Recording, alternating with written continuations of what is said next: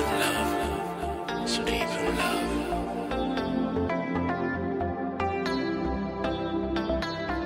looking her eyes.